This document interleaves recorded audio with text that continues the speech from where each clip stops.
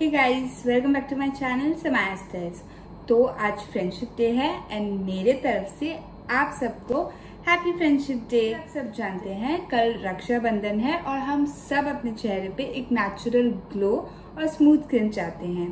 तो उसके लिए आज की वीडियो में मैं आपके लिए लेके आई हूँ एक नेचुरल फेशियल क्लीनअप इसमें मैंने तीन स्टेप्स फॉलो किए हैं। पहला फेस वॉश दूसरा स्क्रबिंग और तीसरा एक फेस मास्क सारे इंग्रेडिएंट्स घर पे ही आपको इजीली अवेलेबल मिल जाएँगे। तो आपको कुछ भी बाहर से लाने की ज़रूरत नहीं है ये कितना इफ़ेक्टिव है और क्या आपको इसे यूज़ करना चाहिए या नहीं।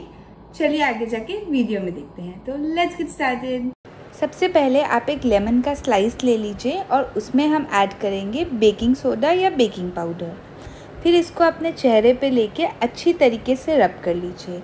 लेमन जैसा कि आप जानते हैं, विटामिन सी में रिच है। हमारे डेड स्किन के लेयर को हटाएगा।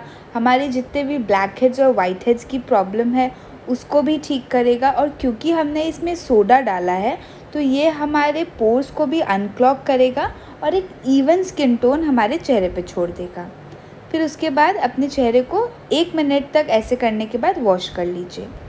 अब स्क्रब करने के लिए मैं यहाँ ले रही हूँ चावल का आटा। आधा चम्मच चावल का आटा ले लीजिए और इसमें एक चम्मच शहद डाल दीजिए।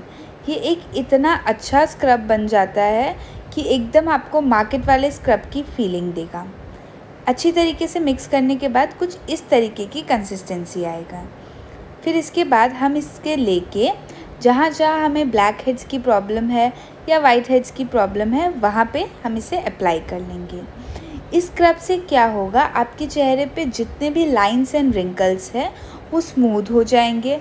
अगर आपको ब्लेमिशेस रेडनेस की प्रॉब्लम है तो भी वो ठीक हो जाएगी। और अगर कोई कोई लोग जिनकी बहुत ज़्यादा ऑयली स्किन है तो वो क्या करें, इसे अप्लाई करने के बाद इसमें हल्का सा नींबू जो हमने लिया था, उसी को लेके इसे स्क्रब कर लीजिए। ये एक एडिशनल स्टेप है, आप चाहे तो इसे फॉलो कर सकते हैं, नहीं तो नॉर्मली फिंगर के हेल्प से भी आप इसे स्क्रब कर सकते हैं।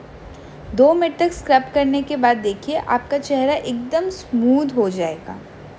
फिर फेस मास्क बनाने के लिए मैं यहाँ एल्प्स गुडनेस का मुल्तानी मिट्टी पाउडर ले रही हूँ और उसे मैं ऐड कर रही हूँ केसर के पानी में।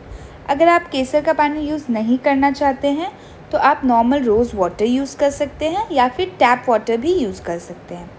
एक पेस्ट बना के हमें इसे अच्छी तरीके से अपने चेहरे पे लगाना है।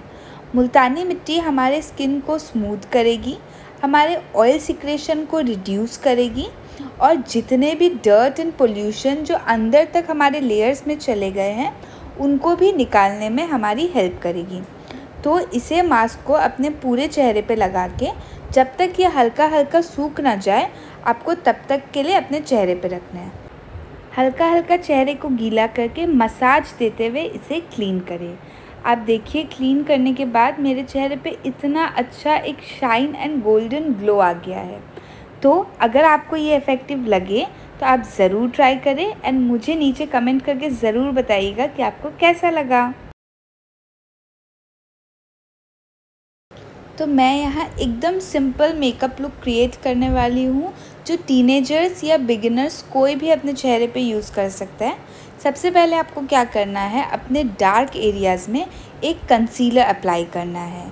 अगर आपके बहुत ज़्यादा डार्क पैचेस है तो आप पहले एक ऑरेंज कंसीलर लगाएँगे और उसके बाद एक नॉर्मल कंसीलर अपने चेहरे पे अप्लाई कर लीजिए। फिर उसके बाद आप एक मोटा ब्रश या फिर एक ब्यूटी ब्लेंडर को लेके भी इसे ब्लेंड कर सकते हैं। सर्कुलर मोशंस में आपको अप्लाई करके इसे अच्छी तरीके से ब्लेंड करना है। देखिए, आप ऐसे ड्रैग नहीं करेंगे। हल्का हल्का प्रेस करते हुए आपको इसे अपने पूरे फेस में जहाँ जहाँ आपने कंसीलर लगाया था वहाँ वहाँ अच्छी तरीके से मिक्स करना है।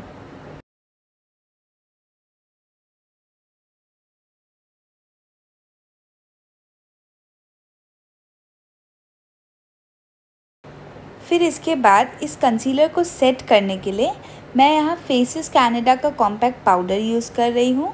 अगर आपने फाउंडेशन अप्लाई किया है तो ये एक मस्ट स्टेप है कि आप इसे अच्छी तरीके से सेट कर लीजिए।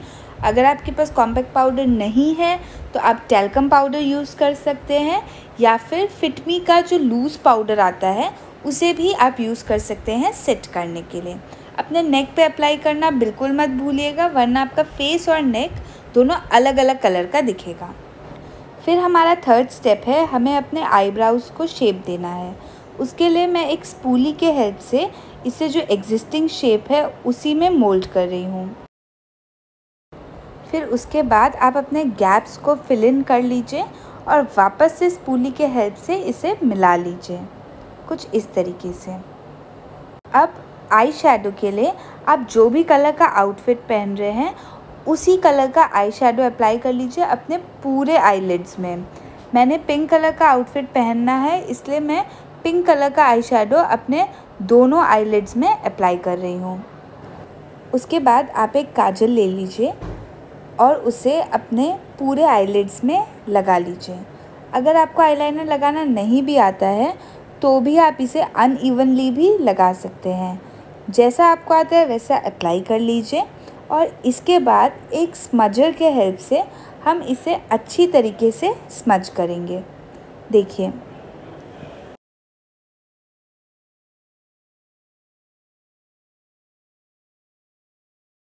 स्मच करने के बाद ये कुछ इस टाइप का लगेगा।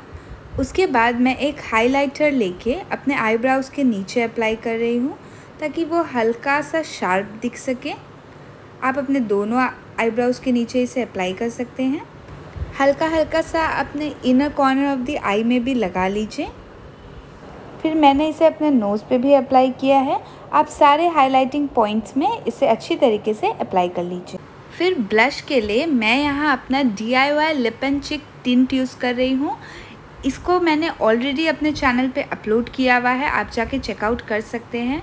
ये एक बहुत ही नेचुरल ब्लश का काम करती है। लगाते वक्त ये हल्का सा पैची लग सकता है बट हम इसे अच्छी तरीके से ब्रश के हेल्प से या फिंगर्स के हेल्प से ब्लेंड कर लेंगे। ब्लेंड होने के बाद ये कुछ ऐसा लगेगा। So guys this is the final look मैंने कुर्ता पहन लिया है and a pair of ear जो मेरे ड्रेस के साथ एकदम मैचिंग है लाइक like, इसमें भी मिंट कलर है इसमें भी मिंट कलर है। तो मैंने आपके साथ एक मेकअप रूटीन भी शेयर कर दिया है और एक फेस क्लीनअप भी।